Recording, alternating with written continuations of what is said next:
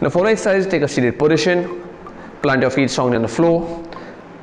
From here, grip the barbell at shoulder weight grip and rotate the shoulders externally and tuck the elbows close to your body. From here, keep the core tight, glute squeezed.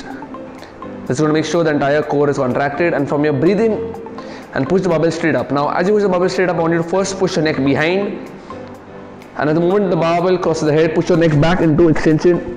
That's it. And similarly on the way back down. This is going to make sure that the bar is moving in a straight path, up and down.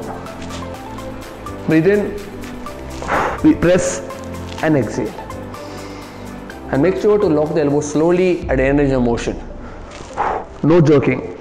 If you jerk the elbow, you're going to end up building unnecessary stress at the joint. And back down.